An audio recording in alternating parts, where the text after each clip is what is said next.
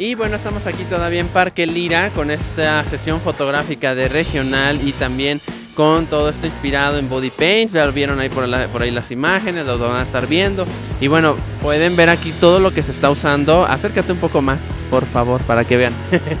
Acércate un poco más para que vean todos los materiales que usan o todos los accesorios que usan estas artistas, todo esto, eh, eh, todo este material. Como pueden ver, está una cabeza de jaguar. A ver si no me equivoco.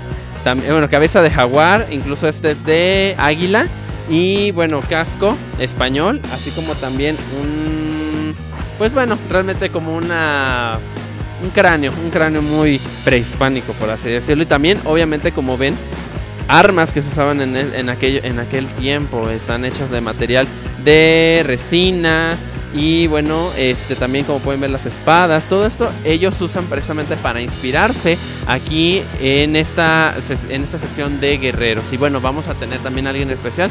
Por favor, adelante. Ven, ven, por favor. bueno, estamos precisamente con eh, este invitado que bueno, él, su personaje realmente como él se llama es la sombra del guerrero. Vamos a ver, ¿por qué la sombra del guerrero? A ver, cuéntanos. Lo que pasa es que surge de un concepto de fotografiar a la gente en su mejor momento, en lo que luchan y lo que son guerreros. Entonces yo soy el fotógrafo que lo sigue y el fotógrafo es como la sombra, es lo que refleja la contraparte del sol para que pueda captar la esencia de cada guerrero.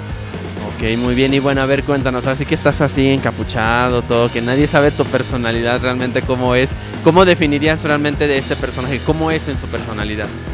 Es básicamente muy serio, es muy callado y es un testigo de lo que está ocurriendo realmente. Su personaje es nada más seguir y expresar el sentimiento de, los verdaderos guerreros, son los que tienen que posar frente a él y a la cámara. Ok, bueno, pues obviamente este tiene como objetivo llevar a que, eh, como tú lo dijiste, llevar a, llegar a aquellas personas que quieren hacer algo, que lo hagan, que realmente se atrevan, que sean guerreros en la vida, que luchen por lo que quieren.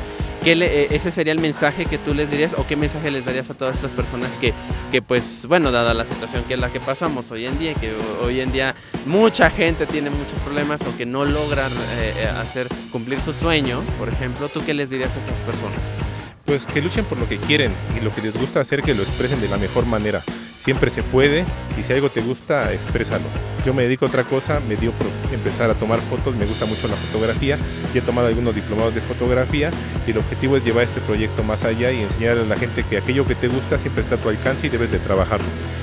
Ok, bueno, pues ya lo oyeron, entonces sigan esos buenos consejos que les da aquí el personaje de la sombra del guerrero y pues bueno, vamos a seguir aquí en esta sesión de El Parque Lira.